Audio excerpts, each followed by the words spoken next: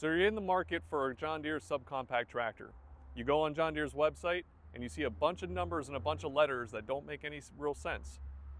Today, we're going to take a quick look at what those numbers mean, what those letters mean, to help you better understand while you're searching for your John Deere compact tractor.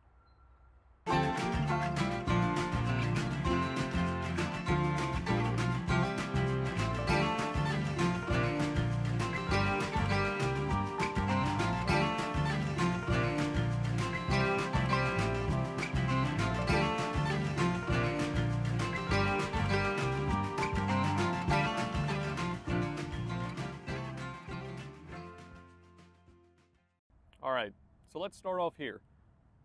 I'm next to a John Deere 1025R R1025R. You'll see the numbers followed by a letter.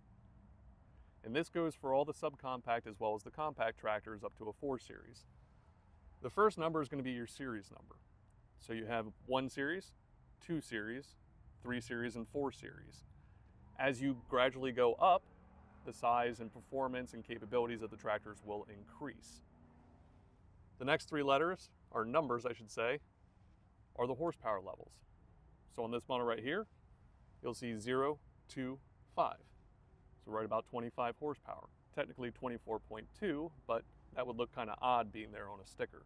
So round up, 25 horsepower. The ending letter R designates its spec level or features. In the 1 series, there are two different models. There's an E and an R. The E, consider that to be more of your entry level economic, uh, still a very capable tractor, but it's not going to have as many features as something like an R series. Uh, for example, on a 1023E versus a 1025R, uh, you will not have as nice of a seat you won't have things like the accessory work lights. It will be a little less horsepower as well. So E, consider that below the R, and the R, consider that your higher spec one.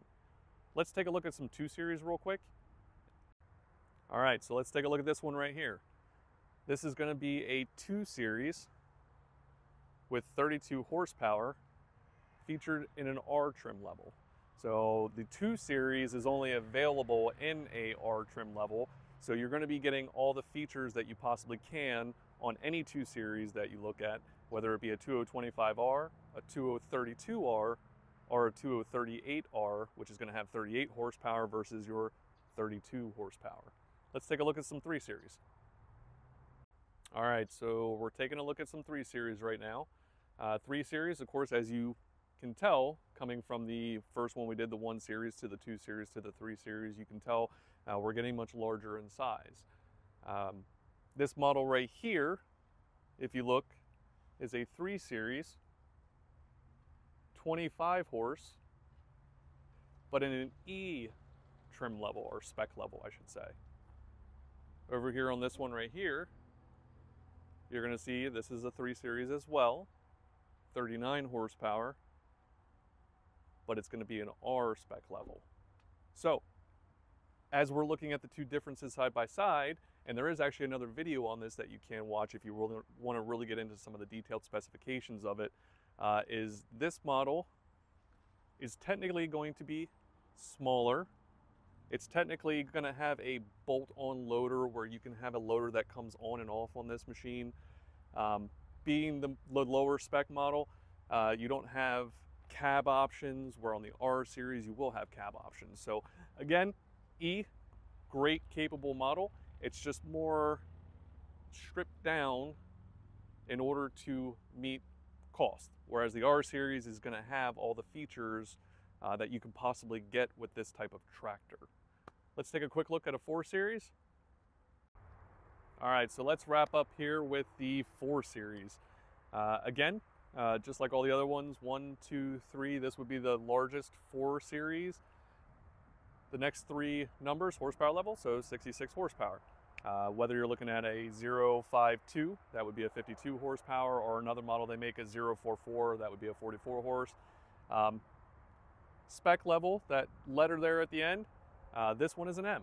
So you haven't seen this one yet in the video, so what would be like an M series uh, or an M spec level? An M spec level is more or less your mid-range one. So uh, it's not top tier, it's not a lower one, um, it's what you would consider mid. And the reason they do that on the 4 series with an M series as well as an R series is because these share very common specifications. Um, just the R series gives you the ability to have things like a factory installed cab with heating and air conditioning, uh, as well as uh, easier, um, or I should say factory installed hydraulics that the M series would not have that you would have to add on in order to um, make it work like you would an R series. All right, so we took a look there at some of the subcompact as well as the compact tractors. I really hope in this video will kind of help you in your search uh, when you're looking at those numbers and those letters, kind of wondering what each of those mean. Uh, whether you're looking at something from a 2 series all the way to a 3E series or even a 3R series and on up. Hope you found this video helpful. If you did, don't forget to hit that like button down below. Don't forget to subscribe to our channel. We're going to be putting out more videos here at Deer Country Farm and Lawn.